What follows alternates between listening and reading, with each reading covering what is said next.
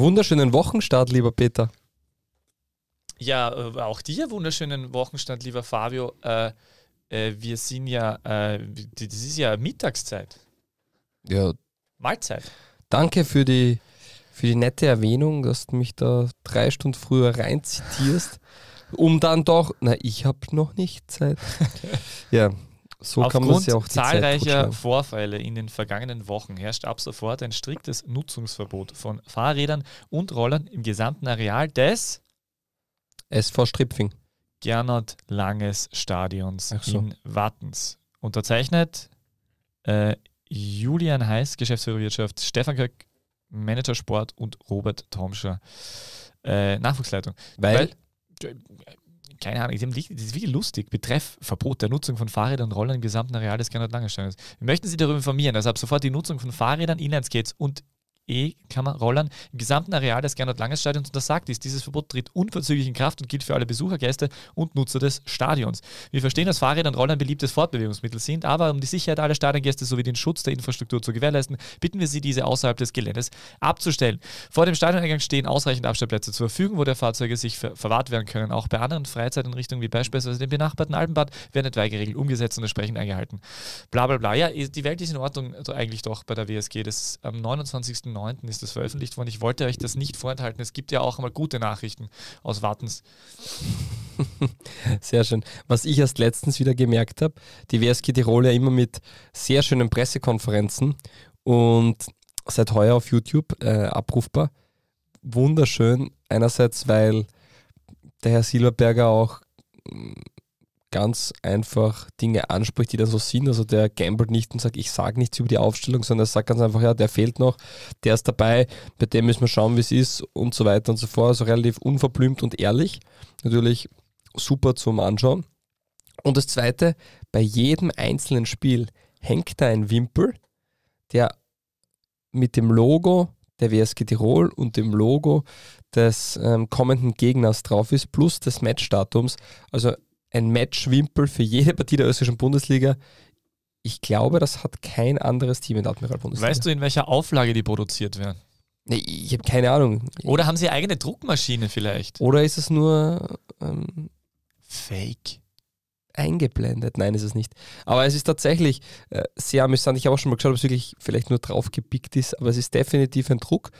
Und die dürften da jedes Mal ich wüsste jetzt nicht, warum sie mehr als einen produzieren sollten, aber sie dürften jedes Mal zumindest einen dieser Wimpel produzieren und das finde ich, das ich schön. Und Lanovo auch. Aber wenn man schon Wimpel und WSG, ich hätte gern so ein Wimpel fürs Auto. Dann hätte ich immer aktuelle. Ja, boah, dann könntest du mal wechseln, gell? Weil das wäre so geil. Glaubst du, wäre das möglich?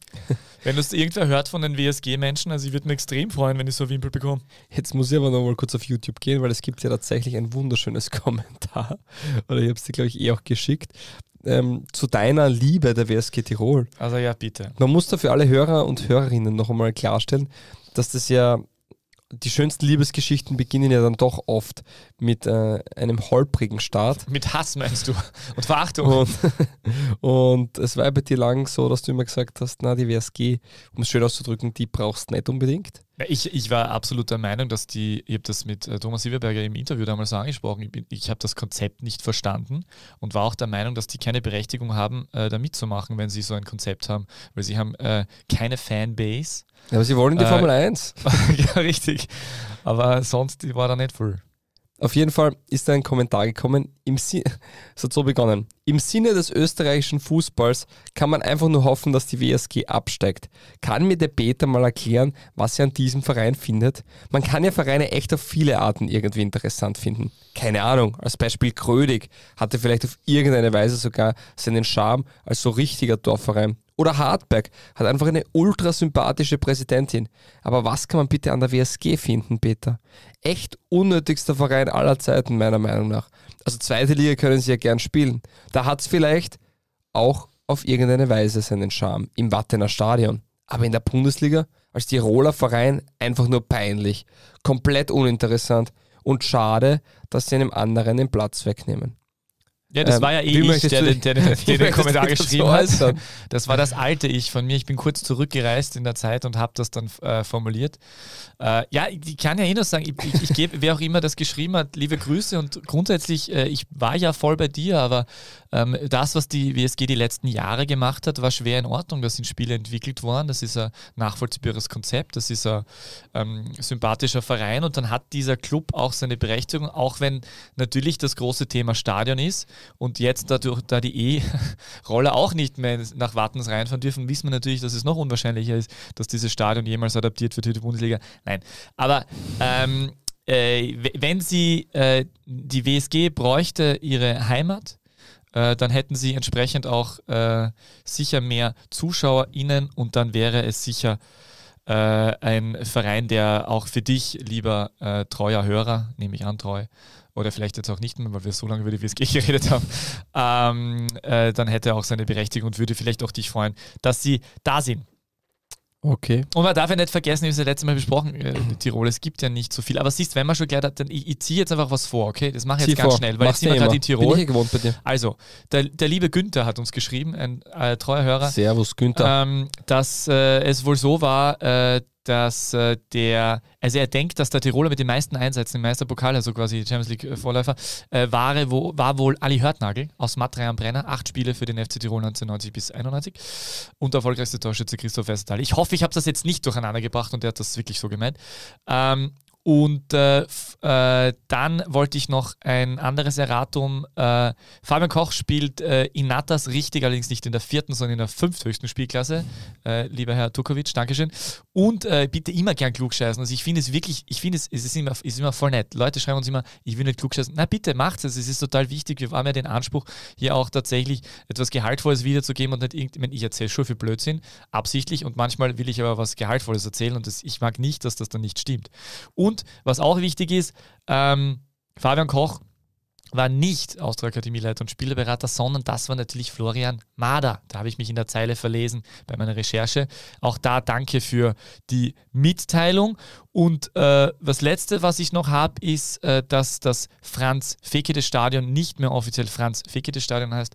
Ähm, Nazi, glaube ich. Aber jedenfalls äh, heißt, äh, jedenfalls ist es, der Franz Fekete war ehemaliger ähm, äh, Bürgermeister in äh, Kapfenberg und tatsächlich war er äh, zwischen 94, äh, 34 und 38, pardon, 34 andere Mitglied der damals in Österreich illegalen Hitlerjugend und nach dem sogenannten Anschluss Österreichs an Deutschland trat er im 1. April 1939 der SS bei SS Nummer 1358982 und wurde Mitglied der ersten Kompanie der dritten SS Totenkopfstandarte Thüringen am Standort Weimar Buchwald. Ja, jedenfalls Nazi, genau. Dieser Damit- Podcast ist nicht politisch. Liebe Grüße an Hans Bürger.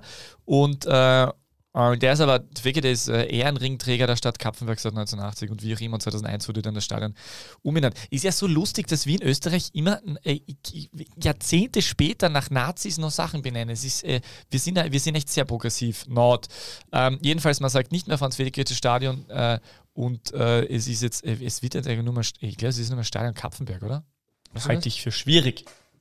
Ja. Ah, Ist ja, wie heißt es jetzt offiziell? Auf das, Wikipedia Fal steht Falkenhorst. auf Wikipedia steht es tatsächlich auch noch als Franz Fekete Stadion. Äh, wer vielleicht sich bemüßigt fühlt, das äh, zu verändern. Früher war es das Alpenstadion und seit 2000, da steht seit 2022 auch als Stadion Kapfenberg bekannt. Also wir sagen einfach Eben. Stadion Kapfenberg oder ehemalige Heimstätte des GAK. Wir erinnern uns, Alexander Manninger, äh, Sternstunde Gegen Inter Mailand. Gegen Inter Mailand. Oder- Oder der Dampfhofer hat leider verschossen, sonst wäre der GAK aufgestiegen. äh, Oder, Hex oder Hexenkessel Falkenhorst, wie Ja. man es doch so gerne nennt. Was ja. Erwin Dampfhofer, muss ich mir merken. Ein toller Name. Gleich, Vielleicht kommt er fürs Orakel halt dran. Ah, nicht Ernst Dospel diesmal. Okay, aber jetzt bitte müssen wir dann, was, und er ist sonst noch irgendwas, ich glaube, das war das Erratum, das ist eigentlich tatsächlich relativ äh, Du, wir haben viel, zu besprechen. Wir können dann ruhig reinstarten, auch wenn es mal passt, gell? Aber ist schon lustig, dass die Tiroler Liga die fünfthöchste Liga ist. Wir Ja, die, rein. die haben sie als einziger ein bisschen ausgenommen. Das stimmt. So, bist du jetzt bereit? Ja,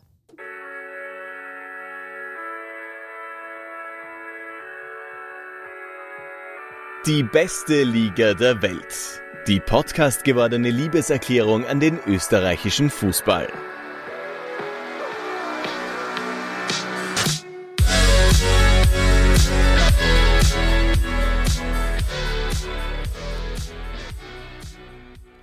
Herzlich willkommen zur 169. Runde von DBLDW.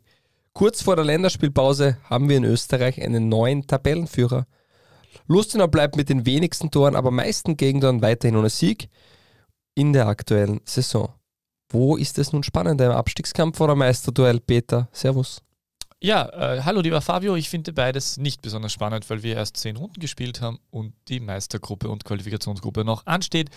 Äh, man kann alle Punkte noch halbieren, wie es äh, der Kollege Schneider von Lustenau gerne macht, nachvollziehbarerweise. Und äh, ich würde es jetzt nicht überbewerten. Allerdings äh, möchte ich gleich äh, einwerfen, was wir heute zu besprechen haben. Wir reden über WRC gegen Sturm, wir reden über Klagenfurt gegen Salzburg. Äh, ich habe äh, zwei Quizzes, die ich nicht sage von dem. Dann reden wir kurz über Lustenau Rapid, weil du irgend, aus irgendeinem Grund wolltest du unbedingt darüber reden, ich habe es vergessen. Und du wirst es uns sicher sagen, dann gibt es ein Orakel ohne Ernst Hospel oder vielleicht auch mit und ähm, zwei Fragen und das Erratum können wir uns sparen, Nein, weil wir ich, es schon. Äh, können noch ein Erratum machen? Ich habe auch was zu erwähnen. Ah, okay. Habe ich in der, in der, im, im Vorfeld jetzt in den ersten Minuten schon wieder einen Fehler gemacht? Genau. Okay, alles Nein, ähm, was macht Ewald Brenner? Und wir haben einen Hörer, der uns das geschickt hat. Ja, Ewald bitte. Brenner hat vor gut eineinhalb Jahren in Linz noch bei Techno Football trainiert und, und Jugendtalente äh, im Training begleitet und dort Trainings geleitet.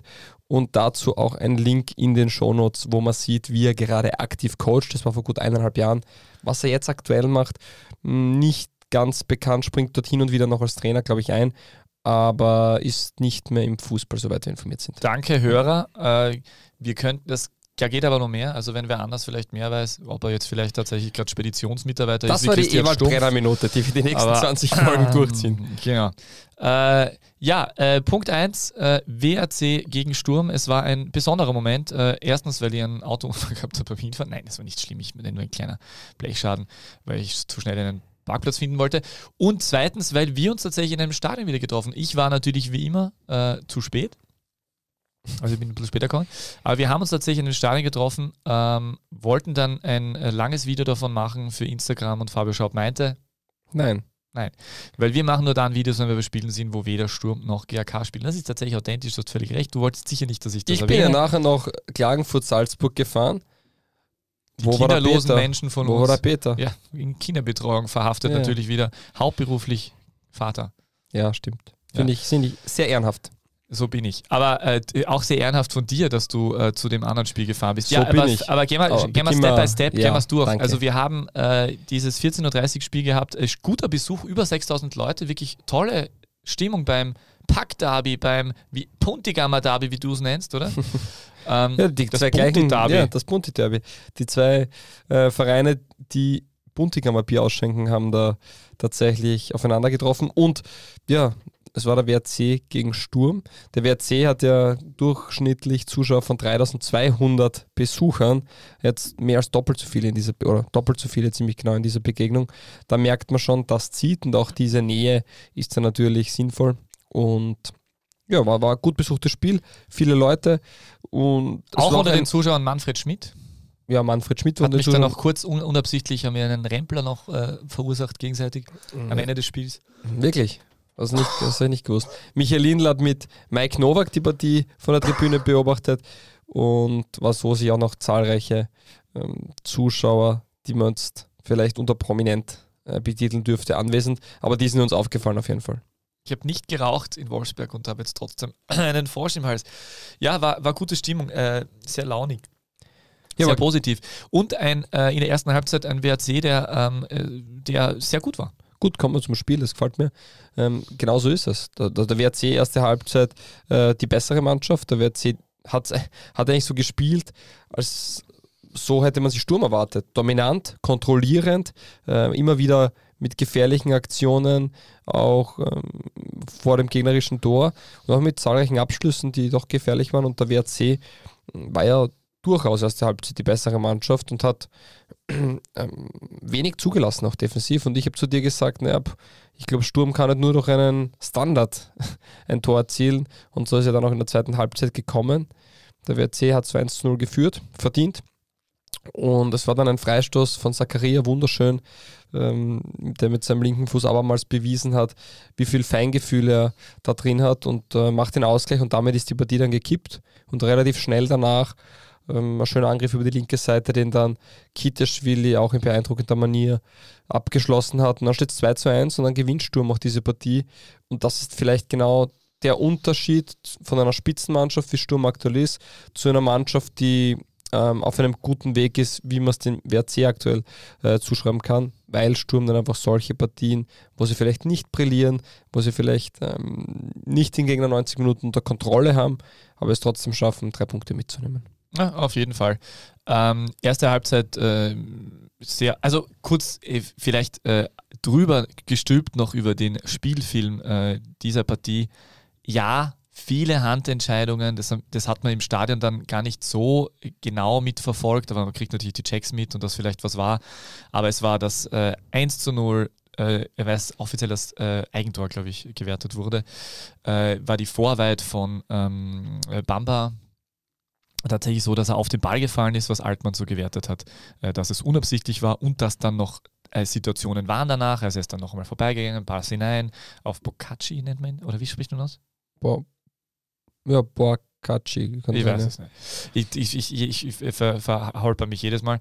Uh, und uh, deswegen neue Situationen neu zu bewerten und das kein absichtliches Handspiel. Dann hatten wir ähm, das äh, nicht absichtliche Handspiel von Böwing in der Entstehung des 2 zu 1 äh, durch äh, Kiteschwili. Ähm, da auch, äh, weil irgendwie nicht absichtlich. Und dann gab es noch ein Handspiel von Stankovic im Strafraum. Äh, das ist auch nicht als absichtlich bewertet worden. Es war auf jeden Fall Aber das ich dachte immer, wenn Spiel Tore, der Handspiele. wenn Tore passieren, dass ein, eine Berührung mit der Hand beim Ball, egal ob absichtlich oder unabsichtlich, ähm, nicht zu einem Tor ähm, resultieren darf. Ja, offensichtlich nicht, darf es nicht direkt davor. Aber vielleicht sollten wir wieder mal Jakob Semmler einladen. Liebe Grüße gehen raus. Herzlichen Glückwunsch. Ich, ich möchte es kurz noch erwähnen. Bundesliga-Debüt. Vor einem Jahr noch bei uns im Studio und jetzt Bundesliga-Debüt. Ziemlich genau vor Jahr. Ja. Glückwunsch auch ähm, von unserer Seite und in den Shownotes auch diesmal bitte notiere das Peter, wir vergessen es sonst. Äh, die Episode, wer sie nicht gehört hat, vor gut einem Jahr mit Jakob Semmler, super interessante Einblicke ins Schiedsrichterwesen gegeben, äh, was so die Challenges sind, aber auch ähm, wie, wie der Alltag oder wie die Woche von einem Schiedsrichter ausschaut und war wirklich richtig interessant. Ja, aber das, das, größte Schiedsrichtertalent Österreichs und eines der größten Europas, habe ich auf Flowla 1 gelesen. Äh, kann man wohl nur so unterschreiben. Auf jeden Fall ist ähm, diese Partie, ja, generell das ist ein Handspiel und das Regelwerk, es ist einfach sehr schwer mittlerweile mitzukommen. Was sind die aktuellen Regeln in diesem Fall? Weil ähm, für mich war klar, wenn ein Tor passiert, wo ein Handspiel vorausgeht, dann darf es nicht gepfiffen werden. Scheinbar ist das nicht so ja, haben wir die Regeln wieder nicht gut gelernt, wir zwei. Richtig, aber es ist zumindest in dem Spiel ist es zumindest so gekommen, dass es dann ähnliche Situationen gab, die alle zumindest gleich nachvollziehbar gleich bewertet mhm. wurden. Und dann ist es, glaube ich, für alle Beteiligten leichter. Es ist natürlich immer leichter für die siegreiche Mannschaft als für die äh, verlierende Mannschaft, aber es ist, glaube ich, leichter nachzuvollziehen, ähm, dass es dann so war, wie es war. Äh, aber bei Sturm, was interessant ist, was ich gestern, äh, danke an äh, Sky, mitbekommen habe, den, dieser XG-Wert ist ja, ähm, kann man, muss, muss man nicht zur Bewertung heranziehen, pardon. Äh, aber das ist schon ganz interessant bei Sturm, weil die tatsächlich. Nur kurz zur Erklärung. Ähm, XG ist der Expected Goals Wert, also die erwarteten Tore, wo es ja die ähm, eigene Berechnung gibt, die einfach mehr Aussagekraft hat ähm, zu ähm, der Wahrscheinlichkeit der erzielten Tore. Äh, und der liegt bei Sturm bei äh, 10,9, damit liegt man im Ligaschnitt äh, an, auf Position 8 nur. Und man macht aber aus 10,9 XG äh, tatsächlich Tore von 18. Und äh, man kann nur das unterschreiben, was äh, Peter Stöger dazu gesagt hat. Das ist Qualität. Ja, das ist dann immer die Frage der Interpretation. Äh, man kann auch sagen, langfristig muss sich dieser Wert erhöhen, weil man vermutlich langfristig eher sich dem Wert nähern wird, als drüber performen. Und natürlich ist es Qualität, weil jeder Schuss hat quasi ein, eine Wahrscheinlichkeit, ein Tor zu werden. Einfaches Beispiel, wenn du von der Ecke aus schießt, dann ist es 1%. Ein Elfmeter sind zum Beispiel 75% der meisten Datenfirmen. Wenn ich jetzt herkomme und sage, ich schieße ähm, aus einem 8%igen, aus einer 8%igen Torwahrscheinlichkeit ein Tor, äh, dann wird mir das in der Regel nicht so oft gelingen. Ja. Und jetzt frage ich dich, welche ist die, also es ist kein Quiz, aber welche frage ich dich, was glaubst du, dass die zweite Mannschaft ist, die in dieser Statistik wirklich sehr klar überperformt. Austria Klagenfurt. Richtig, die haben 9,3 und erzielen 15 Tore. Ja, das sind die Mannschaften, die extrem effizient vor dem Tor sind. Das ist natürlich ist es eine Qualität. Nur über die Saison gesehen nähert sich der Wert der Tore und das Expected Goals Wert oft an, weil es ja einen Grund gibt, warum dieser Wert berechnet wird, weil der sehr aussagekräftig ist.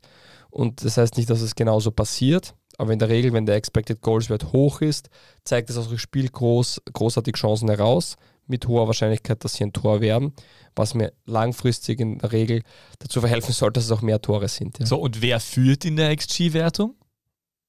ja ich vermute mal Salzburg oder Lask. Da siehst du, Rapid Wien, 24,1, 20 Tore erzielt, äh, sogar relativ klar vor Salzburg mit 21,3 und dem BRC mit Stimmt, der 16,1. Lask hat gar nicht so viel Tore. Ja, nein, äh, Lask ist nicht so. Aber Rapid tatsächlich, die, äh, wenn XG die, äh, die, der Maßstab wäre, also wenn wir nicht mehr Fußball spielen würden tatsächlich, sondern es würde nur mehr die XG, naja, keine Ahnung. Es gibt ja auch dann den ähm, anderen Wert, der quasi das Gegengesetzte macht, natürlich der erwartete Gegentorewert. Äh, Das ist natürlich dann auch relevant, weil wenn ich wenig Tore kriege, muss ich auch weniger schießen, um Spiele zu gewinnen. Das ist eine relativ einfache äh, Milchbubenrechnung. Milchbubenrechnung oder Milchmenschen, Milchmädchen, wie man, Milchmenschen, wie man heutzutage Oder einfach sagt. Milchrechnung. Milchrechnung, richtig. Die Milchrechnung. Oder wie man auch sagt, Haferdrinkrechnung. Die Hafer, natürlich. Die, die Ja. Haferdrinkrechnung. Sehr schön. Ja. Die wird aber teuer, glaube ich. ja, glaube ich auch. Ähm, gut. Äh, ja, aber wir, wir haben einen neuen Tabellenführer. Ich habe mir gedacht, heute in der Früh, dass ich total glücklich aufstehen Haben wir, haben wir einen neuen Tabellenführer, der vielleicht die schwächste Stürmerbesetzung seit Jahren hat? Also bei Sturm ist es ja doch so, mit Heuland, mit dem Mega, mit den Spielern, da waren die letzten Ach so, ja. zwei, drei Jahre, auch, auch damals Janscha war in einem Flow und in einer, in einer tollen, vielleicht sogar die schlechteste, vorderste Offensivreihe in der Ilze-Ära bei Sturm. Meine Güte, die armen Kerls, die da herumlaufen müssen. Aber ja, äh, Simon Wodarczyk gestern mit einer Top-Chance auf das 1 zu 1, die er nicht genutzt hat. Äh, und ähm, auch wenn er sehr gelobt wurde unter der Woche beim Sieg gegen Rakow äh, von Christian Ilzer, meiner Meinung nach auch wirklich äh, nach seinem sehr guten Start gegen vermeintlich kleinere Gegner oder nicht schwächere Gegner mit vielen Toren, äh, nicht so äh, der Goalgetter vielleicht, wie man sich so erhofft hätte, der neue Robert Lewandowski. Brian, Brian Deschera für über eine Million gekommen. Völlig abgetaucht eigentlich. Also der, da schaut es ganz nach Selbstbewusstseinsthemen aus. Sidi Chata verletzt, der kommt jetzt zurück. Äh, Genau, der spielt jetzt immer wieder, aber der hat jetzt auch noch nicht ähm, die Möglichkeit gehabt, so viel zu zeigen, dass man das Gefühl hat, dass das jetzt der neue äh, 20 Millionen Stürmer ist. Und, Und- das ist natürlich ein bisschen der Anspruch bei Sturm natürlich, was man, das war es eben, man hat jetzt immer diese 20 Millionen Stürmer gehabt. Und äh, äh, Sakaria mit seiner Schusstechnik hat jetzt natürlich äh, oft den Unterschied ausgemacht, war gestern auch sehr wichtig. Ähm, Im aber ja, Endeffekt, im Endeffekt sind es drei Zehner, die die Spiele entscheiden. Böwing, Kiteschwili, Zakaria. Also ich sag, am besten wären die alle auf der Zehnerposition. Natürlich spielt Zakaria das sehr gut als Stürmer und war auch schon am Flügel, ich weiß, aber ich glaube, auf der 10 wäre er der ideale Spieler. Genauso wie Böwing. Die Position gibt es eben nur einmal. Teilweise, wenn sie die Raute drehen, dann haben sie einen zweiten Zehner, dann spielt das Böwing auch oft. Böwing, der Mann für die europäischen Nächte, da macht er die Tore. Und in der Liga ist es oft Zakaria oder im Cup-Finale, wie auch immer. Und Kitiaschwili in beiden Bewerben. Aber das sind so diese drei Spieler, die dann oft die Kohlen aus dem Feuer holen. Und auch in der Partie wieder. Es war ein Standard, der, wie zu erwarten, der Dosenöffner war, 1 zu 1. Und dann war es auch die tolle Schusstechnik von Kitiaschwili, die dann das zweite Tor macht. Aber jetzt, äh, ich meine, ja, der, der Sturm ist äh, schlechter bis dahin als die letzten zwei Jahre, sage ich jetzt einmal drei Jahre vielleicht, wenn man ich rede, ich rede jetzt nur wirklich von ja, ich weiß, was Stürmer. aber, ja. aber und Stimmt, die andererseits- auch noch. Ja, Ja. Andererseits äh, sind sie jetzt äh, ungeschlagen weiterhin als einzige Mannschaft, äh, sind Tabellenführer äh, erstmal seit Jahren unter dem Jahr. Also es ist für Salzburg ja auch eine ungewohnte Situation. Die, und das ist schon, wenn, wa- was ist dann, wenn Chatter vielleicht richtig aufgeht? Auf alle Fälle. Aber auch weil die Defensive halt extrem gut und stabil ist. Ja. Lavalley haben wir gestern, glaub, ich, wir beide, glaube ich, erstmals im Stadion gesehen. Ich Also ihn- ich zumindest? Ich, ich habe ihn zum zweiten Mal gesehen. Ich zweites Mal finde ihn sensationell gut. Guter Spieler, Ähm, wird, glaube ich, auf kurz oder lang Affengruber rausspielen, das glaube ich schon, weil er einfach viel mehr mitbringt. Plus, er ist auch noch ein Linksfuß, was natürlich dann für den Spielaufbau ähm, vom Vorteil ist. Äh, Sturm, Sturm in der Saison wieder 10 Spiele, 6 Gegentore. Letztes Jahr zu dem Zeitpunkt 5 Gegentore. Das ist schon ein Steckenpferd. Und diese defensive Stabilität ähm, ermöglicht ihnen einfach, dass sie mit einem oder zwei Toren diese Spiele gewinnen. Und ähm, das ist eigentlich der Schlüsselfaktor. ja, und dass Wüttrich Stankovic, dass diese Achse da eigentlich seit Jahren beständig ist, das ist schon sehr wertvoll. Aber äh, effizient, äh, äh, stabil, ähm, klare Idee wissen wir und äh, lange zusammengespielt wissen wir auch. Äh, und trotzdem äh, nicht so schön anzuschauen, haben wir ja auch mit äh, in der Bonus, äh, in, der, in, der, in der Vorschau. Das ist, immer, das ist immer die Frage, was halt attraktiv ist. Ähm, attraktiver Fußball, wenn du einen Fan fragst, wird der sein, ähm, der gewinnt. Äh, schön Fußball spielen, in Schönheit sterben bringt auch nichts. Also ich glaube, Sturm hat eine klare Idee, hat sich darauf ähm, gefestigt und wenn sie eine Partie 4 zu 0 gewinnen und der Fußballer exakt selber ist, dann werden alle applaudieren und sagen, bah, das ist gut und super. Äh, wenn du solche Partien dann eben knapp gewinnst, dann ist es vielleicht nicht so attraktiv, aber es ist eine klare Idee und attraktiv. Der eine findet ein Kurzballspiel attraktiver, der andere liebt den Kick-and-Rush-Football. Äh, Sturm ist sicher nicht die Mannschaft, die wie Hartberg von hinten raus kombiniert, aber Sturm ist nach zehn Spieltagen Tabellenführer und das ist, glaube ich, für die Sturmfans sehr attraktiv. Äh, ja, großartig. Ähm, aber äh, vielleicht leiten wir genau davon weiter. Ähm, die, wie viel bedeutet tatsächlich eine Tabellenführung nach zehn Runden? Was bedeutet es mental? Vielleicht äh, einerseits für Sturm, aber glaube ich, was mich noch mehr interessieren würde, äh, deine Einschätzung äh, für Salzburg. Ähm, und damit können wir rüberspringen auf die zweite Partie, äh, die du gestern live im Stadion mitverfolgt hast. Ähm, da war ja noch nicht klar, da waren sie ja noch Tabellenführer eigentlich äh, geplantermaßen, wie sie äh, 2 zu 0 sehr früh, sehr klein äh, in Führung gegangen und denkt man sich, das Spiel ist grennt. Äh, und dann äh, wird Salzburg nahezu sowas wie ähm, nervös. Pavlovic mit der ersten roten Karte seiner Karriere. Klagenfurt äh, hat sowohl gegen Sturm als auch gegen Salzburg gepunktet. Also diese Mannschaft ist nicht schlecht. Und jeweils eine rote Karte gezogen. So ist es. Dazu kommen wir dann auch später noch. Ähm, für mich grundsätzlich, Sturm wirkt nicht mehr, äh, eigentlich gar nicht mehr so, wie soll man das ausdrücken, dass das stimmt. Für mich war Sturm letztes Jahr fast noch einen Ticken stärker gefühlt, wenn man die Partien angeschaut hat. Einfach so, die haben mehr Dominanz am Platz gehabt, mehr Dominanz ausgestrahlt und die Spieler mit mehr Sicherheit gewonnen. Also ich war mir in der gestrigen Partie, gerade in der ersten Halbzeit, mir gedacht, es wird schwer für Sturm. Der WRC macht das wirklich gut, auch mit Bamba und Boace vorn. Das sind so Stürmer, also so ein Bamba würde Sturm gut tun, habe ich mir gedacht. Und, und der, der macht das ja auch sensationell. Und dann schaue ich mir Salzburg an und wie du richtig sagst, da habe ich so dieses Selbstverständnis, was da ist. Also dieser Fußball ist eigentlich wesentlich attraktiver als unter Jeißle, also äh, grundsätzlich. Nur ist dann so ein Einbruch auf einmal passiert und hat auch einen Grund dann gehabt. Äh, und das ist dann der große Unterschied. Sturm schafft es trotzdem, die Resultate zu holen bleibt ohne Niederlage. Und Salzburg hat jetzt ähm, wieder Punkte liegen gelassen, nach einer 2 zu 0 Führung. Äh, das ist untypisch. Und der, der, Kernfaktor in der Partie, der war ganz klar, dass bei Klagenfurt halt ein Spieler spielt, der wahrscheinlich für eine europäische ähm, Topmannschaft klingt immer sehr weit hergeholt, aber wirklich für europäische, für eine sehr gute europäische Mannschaft spielen kann, mit Sinan Kawainer. Der unfassbar gut ist. Und der ist, ich habe jetzt zum ersten Mal im Stadion heuer gesehen, letztes Jahr war er auch schon, aber der hat einen unfassbaren Schritt gemacht. Irving haben wir schon gelobt. Wichtiger Spieler, sehr guter Spieler. Hinten super Stabilität mm, in der Dreierkette mit Wimmer, mit Getzos, mit Mara, die vor allem die Homebälle ähm, für sich entscheiden können. Aber vorne Sinan Kawainer, das ist genau dieser Unterschiedsspieler, den du brauchst. Das ist genau der Spieler, wo wir gesagt haben, bei Sturm im Mega Heulund, was bei Salzburg äh, ein, ein Cesko in der Rückrunde war, äh, wo wir gesagt haben, das wird vielleicht der Konate, das ist der Sinan Kawainer. Der kommt hin, der, der macht auch ein, ein unfassbar schönes Tor, was dann halt ähm, aberkannt wurde, wegen, wegen Abseits. Äh, der zieht die rote Karte, was einfach mit einem unglaublich mit einer guten Körpertäuschung, aber dann auch mit einem super Speed macht, wo Pavlovic dann einfach zu spät ist und Pavlovic ist jetzt nicht irgendein Verteidiger. Der, der ist schon sehr, sehr gut und die sind umsonst aktuell, glaube ich, Zweite in der Schützenliste mit, äh, schauen wir es uns an, na, Dritter ist er mit äh, fünf Treffern. Bei den Klagenfurtern, die jetzt doch nicht ähm, so das Offensivfeuerwerk haben, aber es hat ein Drittel der Tore gemacht und ja, es sind das ist eine extrem stabile, gute Mannschaft und mit der roten Karte. Darf ich nur kurz einhaken bei Bitte. Sinan Kawainer? Bitte. Ich hätte ein. Ach so, ein Quiz, ja, warte mal. Das kann mir überraschen. Wir haben uns nicht abgesprochen. Hashtag DBL Levy. Quiz. Was macht Sinan Karweiner vor jedem Fußballspiel? A. Er isst Gummibärchen. B. Er geht zum Friseur. C. Er betet ein Vaterunser. B. Richtig. Äh, der geht tatsächlich vor jedem Spiel zum Friseur, habe ich an zwei Quellen tatsächlich gelesen. Einmal hat Andy Irving gemeint, äh, in einem Interview mit, äh, mit der Kleinen Zeitung und einmal stand es in einem Bericht. In der Kleinen Zeitung tatsächlich, der mag anscheinend gerne zum Friseur gehen. Und er kommt übrigens aus Gummersbach, kennen wir alle. Mhm. Nicht? Okay. Die haben einen extrem guten Handballclub. Und äh, Okay. er kennt äh, Andy Irving, den noch immer nicht offiziell bei West Ham äh, ähm, befindlichen. Es weiß nicht immer niemand, es ist noch immer nicht offiziell, aber ich verstehe, wann die das bekannt geben wollen. Jedenfalls, die kennen sich ja seit Türk Gücü München Zeiten.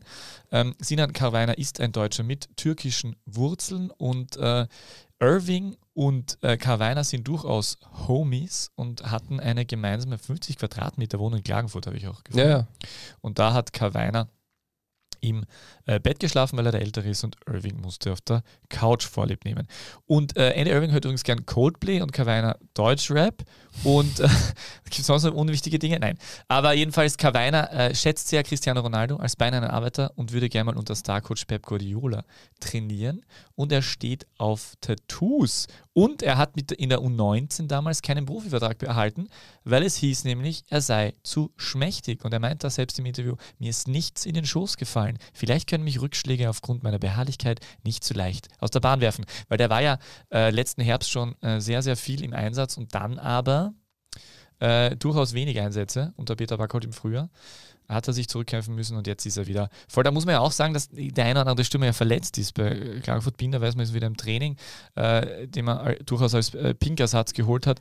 Und äh, dann äh, zusätzlich auch noch Soto, den ich ja, der, der mir auch sehr positiv aufgefallen ist, Mhm. wo er sehr viel Potenzial sehe. Der ist ja auch noch weiterhin verletzt, ausgebildet beim ersten FC Köln. Okay, wusste ich nicht. Genau. Ja, jetzt startet Aweiler, keine gute Partie gehabt, äh, ist dann auch vorzeitig ausgewechselt worden. Und dann war es Jaritz, der, also kurzer Spielfilm, Salzburg geht ganz früh 1 zu 0 in Führung, dann 2 zu 0 Rote Karte wolltest du ansprechen, pardon, bevor dann haben wir die rote Karte, die habe ich eh, ähm, glaube ich, angesprochen, wo Pavlovic mit Rot dann vom Platz geht. Da kann man sagen, ja, muss er das Foul machen? Ich glaube, der wollte nicht das Foul machen. Der war sich relativ sicher, dass er den Ball erwischt. Dann war der hat so aber schnell. den Spieler erwischt, so ist es. Kann man sich auch anschauen, war wirklich gut gemacht von Karweiner. Ähm, und dann auch mh, die verdiente rote Karte. Und da macht Klagenfurt, und jetzt wird es lustig, das dritte Tor in der ersten Halbzeit, ähm, aber das erste, was gezählt hat. Und auch da gab es wieder einen Check, aber diesmal äh, wurde es, ähm, war was ein, regulär, ein regulärer Treffer Wimmer. und Gewimmer mit dem Köpfchen. Die anderen zwei waren wirklich knapp, muss man sagen. Also das Stimmt, war, ja. Und, aber sie waren abseits. Ja. Aber weißt du, was mich so begeistert hat? Also ich habe es im Fernsehen gesehen. Mich hat so begeistert, dass Klagenfurt dieses, äh, dieses Selbstverständnis, dieses Selbstbewusstsein gehabt hat, einfach nach diesen zwei unglaublichen Böcken, die sie geschossen haben hinten und dem 0-2 zu Hause gegen Salzburg, dass, dass sie trotzdem stetig, also noch oft ist ja, dass der Mannschaften so ein bisschen was die so, hm, aber die sind einfach weiter nach vorne marschiert und haben mit einem tollen Selbstverständnis Verständnis Chancen herausgearbeitet und Salzburg unter Druck gesetzt. Und da war sie nicht ganz wie, das habe ich trotzdem nicht ganz verstanden, der Fehler beim, äh, bei, bei der roten Karte war ja von Gournadois. Genau. Äh, ja, also das, also Salzburg war ja spielbestimmend. Salzburg hat das Spiel kontrolliert, so war es jetzt nicht.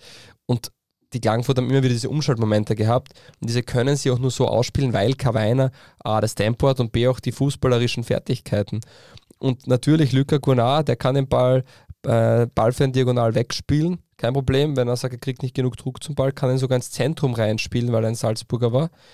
Er spielt ihn aber zurück und quasi eine, eine perfekte Steilauflage für, für Kawainer, der dann ins so spitzt, mit Pavlovic Ja. geht. Und Pavlovic muss dann eigentlich den Fehler von Luka Gonar ähm, ausputzen. Gonar hat gedacht, er bekommt auch das Foul wahrscheinlich. Ja, wie auch immer, einfach ein, ein grober Fehler von wo ich eigentlich sehr viel von ihm halte, aber es gehört natürlich mit ihm, dass die Partie dann so gelaufen ist, wie sie gelaufen ist. Das grobe Thema bei Salzburg ist aber, jetzt fehlt Solé verletzungsbedingt, Baidu macht das super, jetzt kommt Pavlovic raus und der vierte Innenverteidiger bei Salzburg ist Biatkowski und das über Salzburg, wir loben sie über die Transferpolitik und die ist sensationell, aber wenn es seit Jahren wieder mal einen Fehleinkauf ge- gegeben hat oder gibt, dann ist es Biatkowski, ich glaube für drei Millionen aus Polen gekommen damals. Und ähm, was für Fehler der macht, äh, mit und ohne Ball, mh, das ist schon nicht Salzburg würdig und extrem überraschend, weil man am Anfang gedacht hat, ja, das ist der nächste Büffel, der kommt. Übrigens, ich habe einen Salzburg-Pressemitarbeiter gefragt, wie spricht man den jetzt aus? Ähm, und er sagt, na genauso wie du es gesagt hast, Biatkowski. Also nicht Biatkowski oder Biatschowski oder Ja, so wurde es mir von Salzburg-Seiten gesagt. So. Und der natürlich mit, auch beim zweiten Tor wieder, finde ich, äh, muss er sich sehr an die eigene Nase fassen bei dem Tor. Und ja, und dann Klagenfurt eben kurz vor der Halbzeit 2 zu 1, dann bekommen dann das 2 zu 2 relativ spät. Da war es ein Schlagabtausch, wo auf beiden Seiten hätte noch was passieren können. Es war ja dann mit einem Mann weniger ein super Fußballspiel zum Anschauen. Es war nämlich äh, der Ballbesitz ausgeglichen, Klagenfurt relativ viel äh, Kontrolle sogar in der gegnerischen Hälfte gehabt. Natürlich für die Salzburger weite Wege und hat das so ein, man hat quasi die Raute beibehalten, nur ohne Zehner. Also man hat das so ein 4-3-2 gespielt. Und ja, war dann war da nicht mehr drin für Salzburg und das Unentschieden geht dann über die 90 Minuten gesehen äh, in Ordnung. Ja, auf jeden Fall. Es ist ja trotzdem interessant. Ich weiß nicht, es hat schon so Phasen gegeben, wo man das Gefühl hat, auch wenn Salzburg einen Mann weniger Stimmt. haben, dass sie äh, so, also Auswärtsspiel in Klagenfurt, dass sie das dann über Zeit bringen. Also ähm, es ist trotzdem, äh, es ist trotzdem überraschend. Vielleicht ist es auch natürlich diese, sagt man immer ja, diese besonders junge Mannschaft. Jetzt war gestern natürlich äh, Struber auch nicht dabei, äh, krankheitsbedingt. Ähm, ja, äh, Stimmt schon, wir reden aber auch immer davon, Salzburg ist so gut und die haben eine Premier League Innenverteidigung.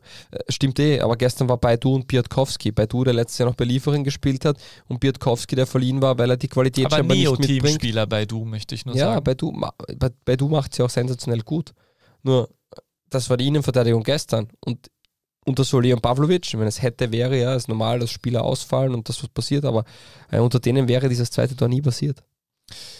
Ja, das das ist dann so der, das, einfach, da das, ist dann, das ist dann der Unterschied. Und wieder Kawainer, der involviert war. Also Jaretz macht dann als Joker das Tor und auch der Wechsel war gut, weil Aweiler war ähm, nicht gut, muss man ganz klar so sagen. Der, der schon gute An Anzeichen hatte in der vergangenen Saison vor seiner Verletzung, aber der noch nicht so in die Spur findet. Und ja, und, und Kawainer und auch Irving, wir haben es oft angesprochen, ähm, das sind einfach sehr, sehr wichtige Spieler für Klagenfurt, plus diese, diese Dreierkette hinten. Was macht es mit äh, Salzburg dennoch, dass sie, es ist total ungewohnt, dass sie nach zehn Runden der Tabellenführer sind. Jetzt haben sie, sie haben dieses Blau-Weiß-Linz-Spiel gehabt, total ungewöhnlich, dass sie, dass das, das, äh, dass äh, Rotation so schlecht funktioniert, dass man gegen, ausgerechnet gegen so eine Mannschaft wie Blau-Weiß-Linz zu Hause verliert. Dann hat man dieses Spiel gegen Real Sociedad, äh, wo man, ähm, ja, muss man leider auch sagen, eher chancenlos war. Äh, jetzt spielt man gegen Klagenfurt nur 2-2. Was ist Also los Salzburg hat Mozartstadt? zum, Letz-, zum letztjährigen Vergleich exakt gleich viele Punkte gehabt. Man hatte zwei Siege, zwei Unentschieden, eine Niederlage. Das Torverhältnis war in etwa ähnlich. So, man, jetzt ist halt Sturm, die noch keine Partie verloren haben. Einfach vielleicht noch einen dicken konstanter als im vergangenen Jahr. Und dann passiert es halt so, dass man einen Punkt dahinter ist. Ich glaube weder, dass ähm, der grobe, erstens, das wird keine Unruhe ausbrechen, das glaube ich nicht. Zweitens ist Klagenfurt auch eine gute Mannschaft. Die hat auch gegen Sturm unentschieden gespielt. Und es wird hinten raus sowieso richtig knapp. Es ist sehr interessant. Klagenfurt ist auf dem besten Weg, die, die zum dritten Mal in Folge diese Meistergruppe zu schaffen. Das ist, äh, das ist schon überragend. Jetzt haben sie ja sogar noch geschafft, die, die, äh, den oberen Rang abzudecken. Deswegen schaut das Stadion jetzt noch charmanter Ja. aus bei Heimspielen. Stimmt. Ähm, es ist äh, wirklich, wirklich toll, was sich dort tut. Klagenfurt hat auch erst eine Partie heuer verloren. Das darf man nicht vergessen. Die haben sechs, sechsmal unentschieden gespielt, aber die haben erst eine einzige Partie verloren. Und das ist schon, das spricht schon für Backhold Ball. Ja, Backholdball ist schön. Und äh, der, finanziell ist man äh, mit Sicherheit jetzt äh, äh, abgesichert äh, durch diesen Irving-Transfer, der noch immer nicht bekannt gegeben wurde. Das belastet dich ein bisschen. Es ist einfach so lustig, weil ich mich frage, warum West Ham ein Problem damit hat. Was, was planen sie die Übernahme von Austria Klagenfurt und wollen es dann einfach gesamt bekannt geben? Haha, man weiß, dass die Deutschen eigentlich nicht mehr wollten. Haha, ist eigentlich Kroaten, oder? Beides ist auch egal, Europäer sind es. Ähm, ja, äh, äh, ja, das ist schon interessant. Ja. Da sollte man mal, also wäre ich Journalist, würde ich danach recherchieren. Stimmt. Wer, wer, Schade. Eine Option. Ja. Äh, schon weil es war ja auch so, es war ja, äh, da war ja kurz, die waren ja kurz vor der Übernahme. Das ist ja nicht so lange her. Der kurzer vor der Übernahme, richtig. Kurz war auch vor der Übernahme. Na super, heute, heute läuft es besser, gell? Ja. Aber Wie halt viele so. Kurzfilme gibt es eigentlich? Dieser Podcast ist nicht politisch. So, Wie viele Äh, Kurzfilme gibt es nicht? Drei, oder? da bist du Profi, glaube ich. Stimmt, es gibt ganz viele Kurzfilme auf dieser Welt. Ha, ha, ha, ha. Ähm, verstehst Ja. Ja.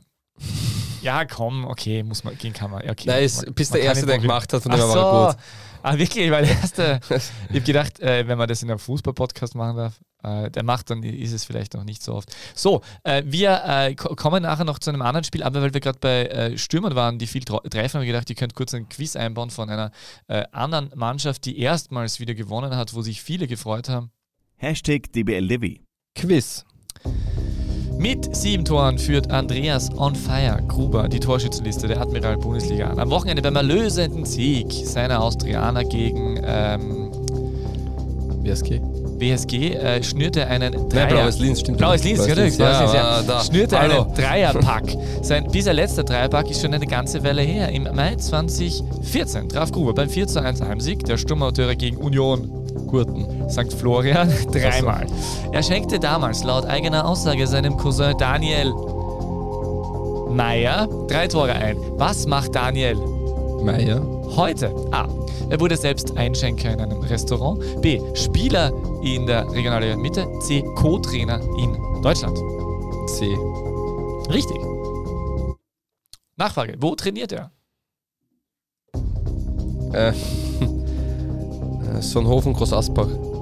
Völlig falsch. Er ist tatsächlich Co-Trainer bei den Amateuren von Borussia Mönchengladbach. Oh, wäre mein Tipp eigentlich schon Manta gewesen. Ja, finde ich eigentlich. Aber ist ganz lustig, gell? Ja, er führt die Torschützenliste an, das stimmt.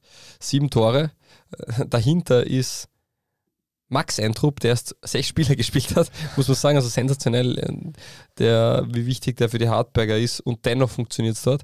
Äh, Und dann kommt auch Sinan Kawainer, Karim Konate und Mohamed Bamba. Also man sieht schon, Bei Hartberg übrigens jetzt, du hast das Das rausgesucht, der jüngste, Maximilian Villaf war jüngster Torschütze in der aktuellen Bundesliga-Saison, Dezember 2004 geboren und er ist der jüngste Torschütze der Hartberg-Bundesliga-Geschichte. die Legende des SV Spital an der Drau. So ist es. Der letzte Straßenfußballer des SV Spital an der Drau. Na, der ist ja auch kein Akademiker, ein Spieler für die besonderen Momente. Kam rein, schoss sein erstes Der Tor. Patrick Wimmer der Bundesliga vielleicht. genau. Nur offensichtlich besser. Hätte fast, hätte, fast, hätte fast zwei Tore machen Ja, können. Also war, war tatsächlich So, super. Fabio Schaub wollte noch ein bisschen darüber reden, wie sein SCR, die Rapidler aus Hütteldorf, Nein, ich wollte noch was zu Du bist ja. Rapid-Fan, bin ich mir jetzt gestern ist drauf gekommen. ein Ich bin, ja, ich bin ja eher Rapid, äh, ich bin ja bei Rapid immer sehr skeptisch. Also ich habe da so eine alte eine Ra- Nein, Rivalität, ich hab, das stimmt, nein, nein, das stimmt nicht. Ich eine möchte, nein, Sturmrivalität drinnen, aber Du- Fabio Schaub nein. ist äh, Sympathisant. Ja, natürlich. Ich bin Siehste? mit fast jedem Verein äh, Sympathisant. Mhm. Aber ich, das war ganz anders. Du hast, du hast irgendwie gejammert und dann habe ich gesagt, ich habe mich richtig gefreut, dass die Austria und Rapid gewonnen haben. Ich mir über die Ausdruck gefreut. Ich habe mich über beide gefreut. Ja, ich finde die Wiener ja, Vereine sehr sympathisch, das ist so. Rapid und, Ja, ja, ich, mag, ich mag die Austria, ich mag Rapid. ich finde Rapid-Fan sympathisch und ich kann schon Rapid als Verein sympathisch finden, aber eigentlich dann doch wieder nicht. Also ich, ich bin einer von wenigen, der wahrscheinlich beide mag, aber es ist mir egal. Ich finde, Ja. ich habe mich da gefreut. Das war ein Befreiungsschlag für beide. Außerdem habe ich jetzt endlich alle sechs Tipps beim Admiral Sixpack richtig gehabt. Perfekt. Ja, so ein Warum Außer habe ich keine Benachrichtigung gekriegt? Also du hast wieder extra getippt Ja, ohne mich. klar. Aber der kommt ja erst ja, später. du wolltest ja selber tippen. Mal schauen mal, wie deine Tipps aufgegangen sind. ja. Aber außer Klagenfurt hat vor dieser Partie äh, aus den ersten neun Spielen 14 Punkte geholt, aktuell sind es 15. Ähm, erstmals so viele zum Vergleichszeitpunkt. Ähm, und die Kärntner verloren von den ersten Spielen eben nur ein einziges, das war das Heimspiel gegen den Lask. Also auch nach zehn Spielen bleibt das so. Und es ist ein, ein toller äh, Saisonstart der Klagenfurter. Ja, auf jeden Fall. Bei Lustener Rapid. ja, bei Rapid, ich wollte da was erwähnen, genau, vollkommen richtig. Ich habe mir rausgesucht, ich habe gedacht, das gibt es ja nicht, dass bei Rapid nicht läuft und habe da nachgeschaut und habe eine Korrelation entdeckt. Ähm, Eine Korrelation. ja, Stefan Sodanovic findet Algorithmen am Fußballfeld. Hast du das gehört? Das ist ja auch hervorragend. was? Nein, das habe ich nicht gehört. Das hat er gesagt im Interview. Er braucht Algorithmen am Fußballfeld und Automatismen. Meint er einen Rhythmus? Ja, man weiß es nicht genau. Ich finde das cool, wenn er Algorithmen sucht. Auf jeden Fall, seit Burgstaller weg ist, und das ist natürlich jetzt nicht ganz richtig, weil ähm, die haben jetzt gewonnen, ist aber, gegen, noch da, aber gegen du? das Schlusslicht Lustenau, äh, wo man sagt, da muss man jetzt drüber kommen. Ohne Sieg noch die Lustenauer. Aber seitdem Burgstaller nicht mehr in der Startelf ist, äh, das letzte Mal hat er gespielt gegen Fiorentina, da haben sie ja gewonnen, ähm, gab es keinen Erfolg mehr. Und man hat mit Burgstaller 23 Tore in acht Spielen erzielt. fünf Tore davon waren Burgstaller. Und man hat danach zehn Tore in sieben Spielen erzielt, wovon drei Tore sogar gegen Gurten in der Nachspielzeit waren. Ähm, was mir das sagt, es fehlt, wenn man jetzt die fünf Tore dazu rechnet, wären es jetzt gar nicht so viele mehr. Aber es, er fehlt als Typ, als Leader, als einer, der die Mannschaft mitreißt und ähm, wenn es einmal schwer läuft, diesen Umschwung schafft und diese Partien dann gewinnt. Und das hat man, finde ich, schon gemerkt, dass es fehlt. Jetzt gegen Lustenau, Marco Krühl mit seinem ersten Doppelpack für Rapid und es war alles sehr souverän und früh, frühe Führung, dann läuft das alles selbst gegen angenockte Lustenauer. Aber ich glaube, dass, das, dass die Rolle von einem Burgschaller extrem äh, wichtig ist, nicht nur als Torschütze, sondern auch als Leader, als Typ und, und wie er die Mannschaft führt. Und ich glaube, dass das noch zu wenig thematisiert worden ist und deswegen war das auch ein Punkt. Den, es ist zu wenig thematisiert worden, dass äh, Burgstaller wichtig für Rapid ist? Ja, aber nicht nur als Torschütze, nicht nur als so. Stürmer, als Zielspieler, weil Majulo macht die Tore ja auch. Äh, ich finde er ist so wichtig als, als, als die Leaderrolle äh, da drin. Als die, Mann, die Mannschaft ist ja sehr jung die Mannschaft hat sehr viele Spieler mit, mit vielen verschiedenen Qualitäten, aber so einen Leader, so einen ähm, Mentalitätsspieler, einer, der vorangeht. Ähm, Grigic. Ich finde, den, den, haben sie in der Form noch nicht. Ne? Na, wie meine, Grigic äh, wäre für mich einer gew gewesen, der das sein das. kann. Also der so hat auch sein, sein, erstes Tor jetzt gemacht. Ja. Und, aber, aber der spielt ja noch nicht fix. Jetzt er, eben, der ist gekommen, keine Ahnung, ob er das dann ah. wird oder nicht. Aber Burgstaller ist die personifizierte ähm, Führungsperson in diesem Verein und äh, also am Feld. Und das ist einfach eklatant, wenn er fehlt. Und man sieht dann auch, wie, wie schwierig es ist. Die Rapid finden sich auch mit einem Transparent ähm, zum, zur Derby-Niederlage, kann man oder zur gefühlten Derby-Niederlage, es war ein Unentschieden. Ja. So irgendwie 8 gegen 11. Ähm, wie war der Spruch? Du 9 gegen 11. Dank, danke. Du hast es doch gepostet, oder? Gepostet. Ich habe es dir geschickt. Ich sag's dir gleich, es war, es war da dort 11 gegen 9, danke für nix, Derby-Versager. Genau. Ja. Äh, übrigens, was bei Rapid schon interessant ist, äh, dass Rapid ähm, noch nicht genügend Punkte geholt hat, im Europacup ausgeschieden ist. Ja, weil eben Burgstaller nicht dabei war. Aber wieder schön anzusehen ist und wenn es läuft bei Rapid, dann geht es richtig rund, weil erste Runde ÖFB Cup 7-0 gegen Donaufeld. Äh, Alltag 4 zu 0. Depresen zurück, Rückspiel 5 zu 0. Blau-Weiß-Linz auswärts 5 zu 0. Ähm, Alle Spiele mit am Städten, am Städten war, war am Städten Cup wahrscheinlich. Das, nein, echt? Das war Testspiel dazwischen. Ja, ich glaube auch. Äh, ähm, Union Gurten war natürlich das 5 zu 2 im Cup. Außer Lustenau 5 zu 0. Das heißt, sie haben auf jeden Fall Kantersiege. Ja, gegen äh, Gurten war es in der Verlängerung noch 2 zu 2. Nein, also deswegen Union Gurten ja. würde ich jetzt nicht ausschreiben. War auch Burgstaller nicht dabei. Richtig, aber äh, Lustenau jetzt auch in 15. Das heißt, sie haben durchaus äh, Kanter-Siege dabei. Äh, Spiele, die natürlich den Fans besonders Spaß machen. Und auf der anderen Seite haben wir, ähm, sollen wir noch kurz über Austria Lustenau oder ähm, die haben ja, können wir kurz anschauen. Ganz kurz angesprochen, Austria Lustenau ähm, sieht wohl so aus, als ob äh, der Trainer noch Rückendeckung genießt. Das ist ähm, es äh, funktioniert nicht viel dort. Also es war, das war ja, ich meine, es war ja eine kleine äh, eingeschworene Truppe, die, die sehr, sehr effizient gespielt hat und sehr viel, da waren eben genug Automatismen, Stefan Sudanovic. Äh, und jetzt wird halt sehr, sehr viel probiert. Das ist natürlich das große Problem. Marc ist verletzt, Hugonet ist auch verletzt, allerdings schon auch in Magdeburg. Ähm, der hat dort auch eigentlich gut eingeschlagen. Äh, das heißt, da hat man noch nicht wirklich was gefunden. Jetzt hat man zum Beispiel im Anderson probiert, das war die große Diskussion. Okay, hat eh schon mal innen gespielt, aber hat nicht funktioniert. Äh, und äh, eben Stojanovic hat es angesprochen, dass Spieler halt auf unterschiedlichen Positionen tätig sind. Es gibt auch keine Mannschaft, wo es so schwer ist, eine Startelf vorauszusagen, ja. als bei Austria Lustenau. Bei allen anderen hast du, weißt du ganz genau, wer spielt auf ein, zwei Positionen, kann rotiert werden, kann sich was verändern, okay. Aber bei jeder Mannschaft weißt du die Grundordnung, du weißt die Art und Weise, wie sie spielen und vor allem äh, weißt du, welche Spieler auflaufen. Bei Austria Lustenau ist das jedes Mal ein Würfelabend. Ja, ist super für die, für die, da kann sich der Gegner nicht drauf einstellen, wie man sieht. Stimmt, so. aber sie sich selbst auch nicht. ja, richtig. Also, das ist das äh, Problem. Gute Mannschaften zeichnet schon aus, dass sie einen klaren Kern haben, einen klaren Stamm und äh, bei Lustenau ist das halt nicht erkennbar. Aber die denken auf jeden Fall, wenn man Schneider hört, die denken, die denken offensichtlich bereits an die äh, Qualifikationsgruppe. Man weiß, die waren sehr knapp dran. Naja, aber mit zwei Punkten, mit fünf erzielten Toren in zehn Spielen an irgendwas anderes aktuell zu denken, wäre vermessen. Ja. Die waren ja sehr knapp dran, muss man sagen, am Europacup. Das war nicht so, äh, darf man nicht vergessen. Äh, die waren in der Qualifikationsgruppe gut, haben den WRC ausradiert im, äh, im Playoff. Wir aber sehen ja. aber trotzdem, dass Mannschaften wie die Austria oder wie Lustenau äh, einfach, die haben einen Goalgetter verloren und das fehlt ihnen in ihrem Spiel. Und das sieht man auch anhand der Andreas Tore. Gruber, sieben. Tore. So Aber ich weiß, der zweitbeste Torschütze bei der Austria ist Finkas Lani mit einem. Also äh, das ist, man merkt da schon eine klare Tendenz, wo das hingeht. Wenn du vorne keinen hast, der die Tore macht, gerade wenn du vielleicht einen Umbruch hast oder nicht, nicht so die stabile Mannschaft, ja, dann wird es schwer. Und bei Austria Lustenau Friedrichs verletzt seit Wochen, auch nicht unbedingt glücklich, weil er weg wollte. Äh, ja, das wird dann einfach sehr, sehr schwierig. Da ist Anthony Schmidt, der in einer Partie einen Doppelpack gemacht hat und das war's. Und ich sehe dort auch nicht unbedingt jetzt die große, die große Trendumkehrwende, wie du so schön sagst. Ja, äh, es wirkt doch so, ob äh, Mannschaft und äh, Trainer noch äh, zueinander finden durchaus, auch wenn Kritik geäußert wird, aber man hat auf jeden Fall Verständnis, wenn wenn man Dominik Schierl auch gehört hat ähm, bei Talk und Tore. Aber es wird sicher etwas passieren müssen, müsste man dann auch einmal vielleicht noch äh, genauer drüber reden, aber äh, da, da ist eben, es ist eben viel passiert, wir wissen, der Kader ist spät zusa zusammengekommen und jetzt versucht man sich da halt irgendwie rauszudividieren. Ich muss So, sagen, Ried, Ried war letztes Jahr zu dem Zeitpunkt äh, Schlusslicht mit fünf Punkten, hatte schon einen Sieg. Zwei Jahre zuvor war die WSG Tirol letzte mit acht Punkten, hatte aber schon einen Sieg zu dem Zeitpunkt. Also es ist schon ein sehr inferiorer Start, den die äh, Lustenau hingelegt haben.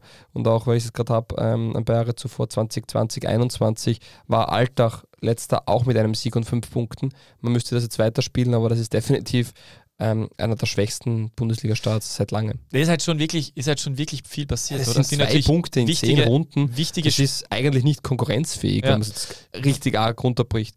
Ja, aber auch Jahr zuvor hat Mira zehn Punkte. Also das ist schon, es zieht sich durch und bin gespannt. Ähm, die müssen mal, wenn die jetzt einen Sieg holen, dann ist das mehr als eine Verdoppelung der Punkte am 11. Spieltag. Ja. Aber es ist halt äh, wichtige Spieler weg, okay, aber dann spät Spieler dazu. Äh, und ähm, sch- schwierige Situation. Ich glaube, da hat sich viele, viele Kleinigkeiten haben sich da eingeschlichen und viel äh, hat sich da getan.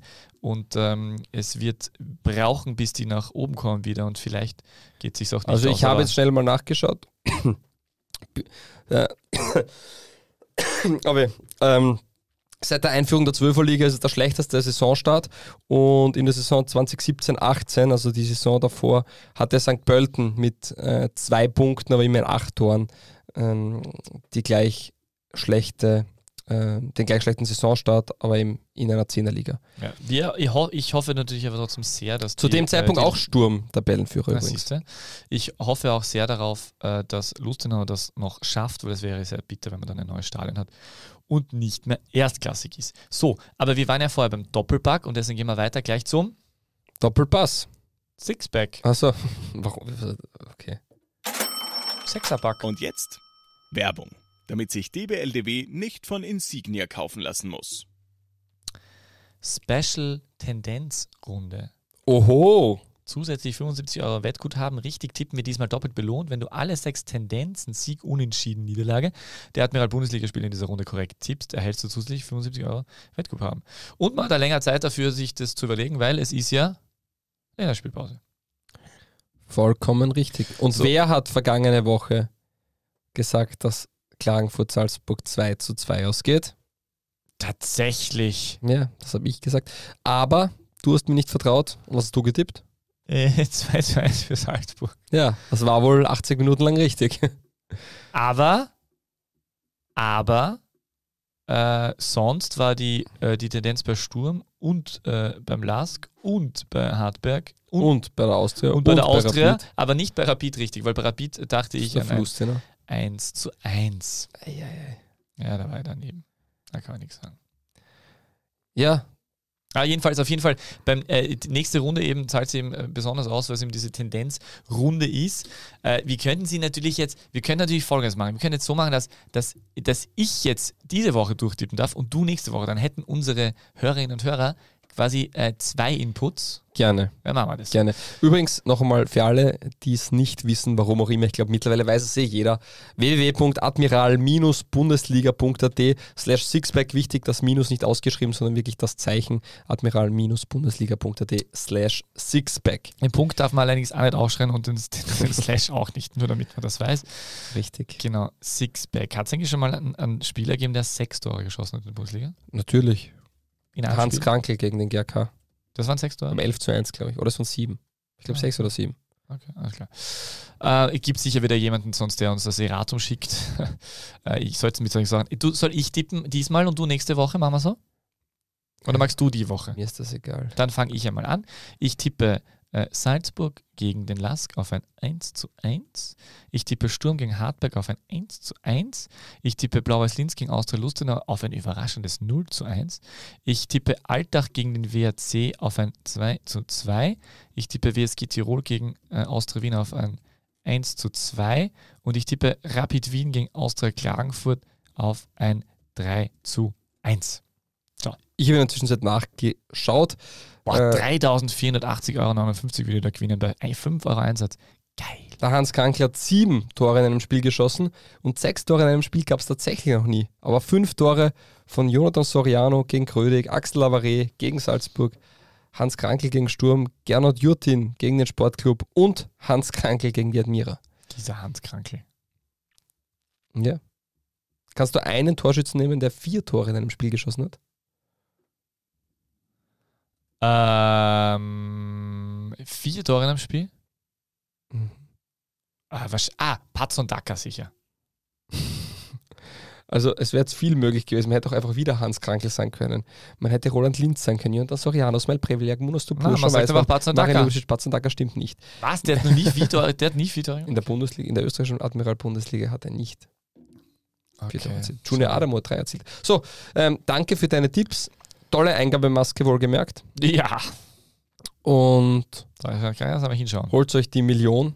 Einfach Go alle sechs Tipps it. richtig tippen und schon seid ihr siebenstelligen, am siebenstelligen Und Betrag wenn ihr im reicher. Stadion seid in Österreich, so wie gestern in Wolfsburg, dann könnt ihr euch freuen, es gibt nicht nur äh, äh, so Wettgutscheine von Admiral, die einem gegeben werden, sondern es gibt auch, man glaubt, es sind Gummibärchen, aber nein, es sind wundervolle, gesalzene, geröstete Erdnüsse. Äh, haben wir geschmeckt, allerdings äh, muss ich auch dazu sagen, ich hätte mich für Gummibärchen noch mehr gefreut, aber es, war, es waren sehr gute Erdnüsse. Werbung Ende. Also von Admiral gibt es Erdnüsse, war das ist verständlich. Gratis Erdnüsse. Werbung Ende. Ja, Danke. okay, Matthias, ich hab's verstanden. Äh, danke, Sehr dass du schön. auch da bist. Äh, übrigens, Länderspiel ist ja Matthias Pascottini, ich sag's euch, haltet euch The fest. Voice. The Voice is back. Äh, nach dem guten Feedback äh, seines Besuchs äh, in Linz äh, beim FC Liverpool Hat der Wird- ÖFB angefragt. hat der ÖFB angefragt und wollte unbedingt, dass Matthias Pascottini äh, beim Spiel gegen Belgien dabei ist. Und so viel sei verraten. Ja, er hat zugestimmt. Wir mussten ihn etwas überzeugen, aber er ist dabei. Er macht das Gott sei Dank und wir sind sehr glücklich darüber. Also er wird wieder mit dem Bus fahren, glaube ich, wie, äh, wie ins Baltikum. so wie eins nach Kapfenberg. Na, also mitkriegt, äh, die Stadt Graz ist, da ist er mit, mit gewesen, da war so European Green Capital äh, Geschichte, schon wieder Politik. Und das, ist tatsächlich mit dem Bus drei Tage lang äh, in das Baltikum gefahren. So, äh, aber das ist ja jetzt auch nicht mehr weiter wichtig, weil jetzt müssen wir ja tatsächlich nicht ins Baltikum reisen, sondern in die Zweitligastadion, Stadt, Zweitligastadien dieses Landes. Zwei. Liga 2 Front.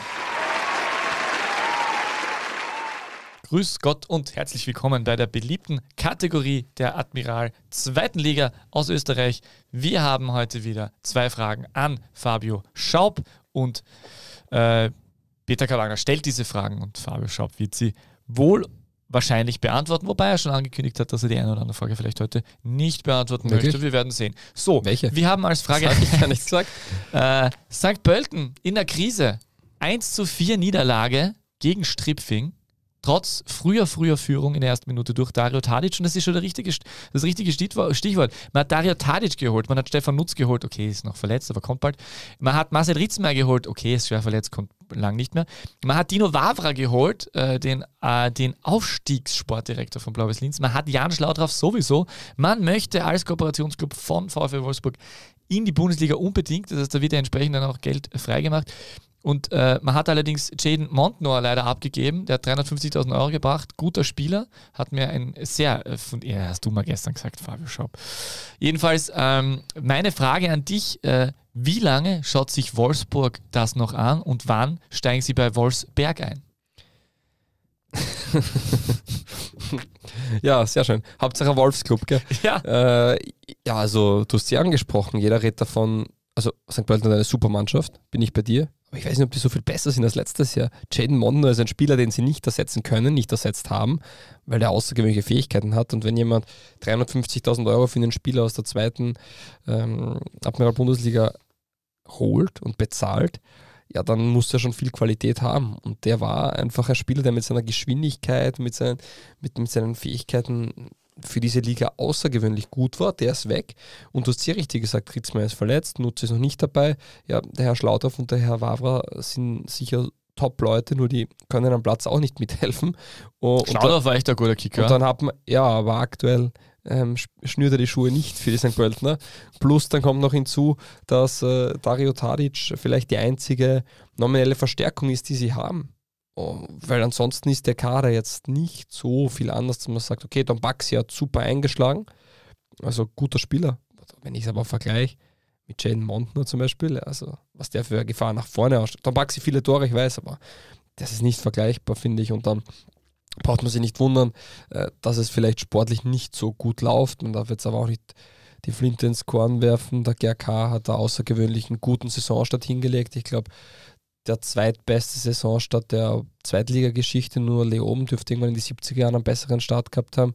Und ich glaube, noch nie hat eine Mannschaft in der zweiten Liga nach zehn Spieltagen äh, so einen Punktepolster auf den Tabellenzweiten gehabt. Also das muss man schon noch in Betracht Acht Punkte ziehen. auf Bregenz nach dem Sieg Ja. in Bregenz. Und aber St. Pölten ist eben halt auch schon elf Punkte hinten. Ja, aber und hol einmal elf Punkte in Stimmt, 20 Runden. Stimmt, St. Pölten hat das Spiel gegen den GRK Direktes Duell auch knapp, verloren. knapp verloren. Ja. Und wenn sie die Partie gewinnen, dann sind es halt nicht elf Punkte, sondern sind sie Tabellenzweiter und äh, sind da fünf Punkte dahinter. Also es liegt dann oft eng beisammen.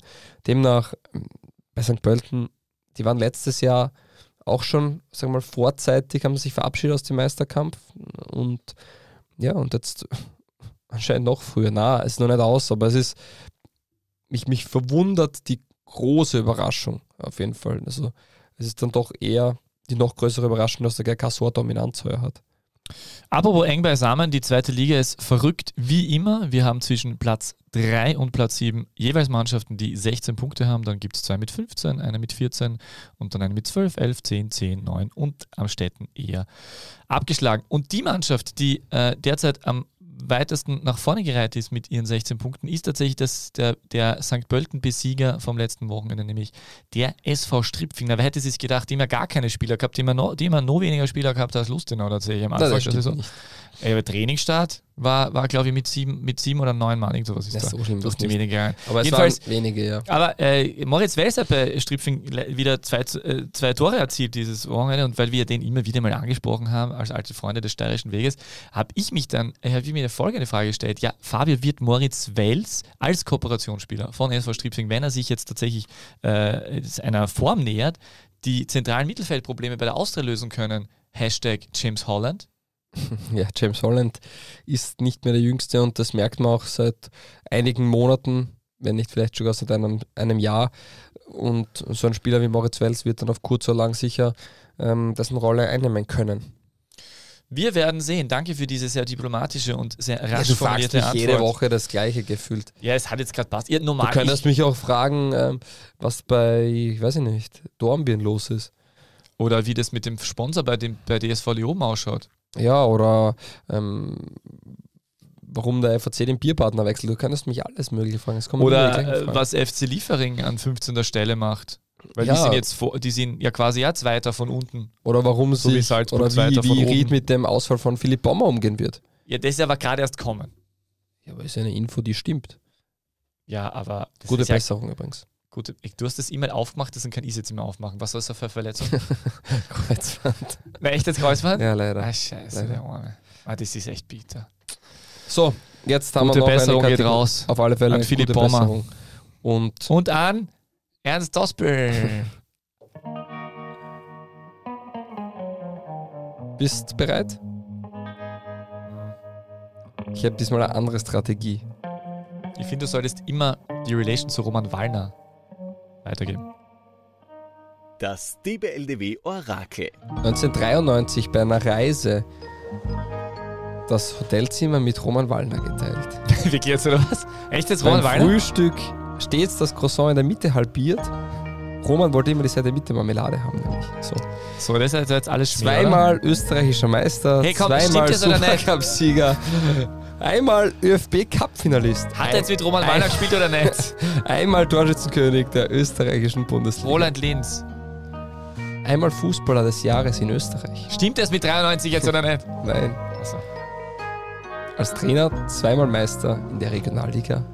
Ronny Brunmeier. Er hat zusammengespielt Christoph mit Westerthaler. Werner Bürgler, Christian Stumpf. Ähm, Jens Lelek und Christian Fürstaller. War auch mit Andreas Herzog. Goran Tomic. Ah, der war ja. Und Heimo Pfeifenberger. ja, sehr gut. Das ist jetzt fast zu leicht gewesen. Ich hätte noch so tolle Fakten.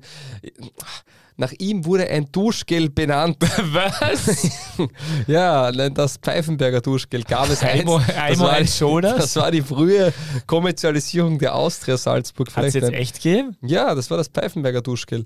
Das hat es gegeben, damals in den erfolgreichen Zeiten der Austria, die ja dann auch unter anderem 94 im UEFA-Cup-Finale waren, wo die Das ja Salzburger selbst verrückt. sagen, dass teilweise mehr Frauen als Männer im Stadion waren, weil das ja Boyband-Charakter hatte. Der Heimo Pfeifenberger war echt und schön. man hat das damals wirklich versucht, auch Ist er noch finanziell immer. auszunutzen unter Quenberger, indem man dann das Pfeifenberger Duschgel machte. Elfte in der ewigen Bundesliga-Torschützenliste mit 117 Toren und er ist damals Torschützenkönig mit 14 Toren geworden. Das Also erinnern, ja. auch eine Seltenheit. In zwei Wochen hat ihn der Andi Gruber schon. Und ähm, ja, Trainerstationen waren dann Solala, also Aus Auslandsstation bei Bremen. Ich weiß, ja. Da war er aber eher Seitenspieler, Stürmer, glaube ich. Ja, genau, im Mittelfeld. Und ja, dann als Trainer in Grödig gewesen, war dann noch einmal in Wiener Neustadt. WRC, wie wir uns erinnern können, sein Co. damals Christian Ilzer. Ja, bei Neustadt auch Und- schon. In Neustadt auch schon, stimmt, ja. Und dann war er eine Auslandsstation in Litauen beim FK Sudova, Sudova. Da ist Daniel Offenbacher Meister geworden, oder? Und dann war er, es stimmt, und dann war er sehr lang wieder in Grödig Trainer Aber sportlicher Leiter dann zuletzt, oder? und ist dort eben Sportkoordinator, sportlicher Leiter. also nicht mehr, okay. Und ja, ist, glaube ich, ein Grödiger und fühlt sich da, denke ich, einfach einfach mal sehr wohl. Schön. Ja, ist auch mit Grödig in die zweite Liga damals aufgestiegen. Schön. Also. Du Eine schöne ja Geschichte. Grödig, Ultra. Ich habe mir gedacht, die, die haben ein cooles Logo. Die, vielleicht ist das was, was man dir da, ach ja, schade. Ich habe gedacht, das wird schwieriger, aber du bist wirklich ein Experte in dem Bereich schon. So, gibt es noch irgendwas? Ja, mm, wir sind Autoren, aber dazu das nächste Mal. Ah ja, wir sind Autoren. Ja, ähm, Aber Thomas Seidel ist auch Ja, ich hab- Autor. Ich habe mir auf, stimmt, ich habe mir aufgeschrieben, wann wird Philipp Hosiner ein Thema bei der Wiener Austria? Und dann hat Hosiner drei, äh, dann hat Gruber dreimal getroffen. Aber Hosiner schon wieder bei den Young Violets mit einem Tor. Also der könnte da definitiv helfen. Europacup haben wir gar nicht besprochen, oder? Die Europacup haben wir nicht besprochen. Machen wir schnell. Ja, Du hast äh, einen schönen Rundentitel, den wir nicht verwenden werden, der, war, der mir sehr gut gefällt. Der Lask. hat. Ja, du musst es Also, sagen. nothing to lose. Ja, also die haben jetzt nichts mehr zu verlieren in der Gruppe nach zwei Auftaktniederlagen. Die können jetzt frei und entspannt einfach völlig überraschend äh, Union Saint-Gillois zweimal besiegen und dann doch noch in die Conference League umsteigen. Äh, Sturm hat das ähm, Schnittspiel äh, auswärts gegen äh, den großen Gegner Rakow äh, relativ souverän, muss man sagen, tatsächlich gewonnen. Also Sturm ha- haben wir eh schon besprochen, sie gewinnen die Spiele dann halt irgendwie mit großem Unterschied. Es war wieder dann knapp, weil nur ein Tor, ähnlich wie gegen Wolfsburg, aber trotzdem waren äh, die bessere Mannschaft mit besseren Chancen. Und ähm, beim Laskwasser war auch schade, weil die haben auch gut gespielt. Und äh, diese zwei, äh, diese viel zitierten 200er leider vergeben. Und äh, ja gut, Salzburg haben wir schon besprochen in der Vorschau. Genau, auch noch einmal die Info an alle anderen, die uns vielleicht nur immer Dienstag früh hören. Danke dafür. Auch Donnerstag gibt es eben uns zu hören. Mittlerweile immer zweimal die Woche.